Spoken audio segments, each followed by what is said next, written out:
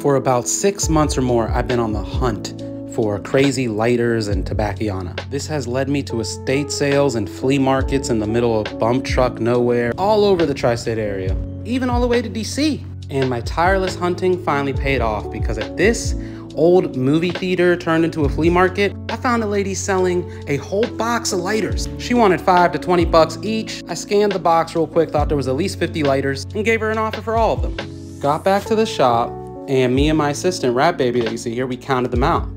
There wasn't 50 lighters, there was 192, but only three of them worked out of the entire batch.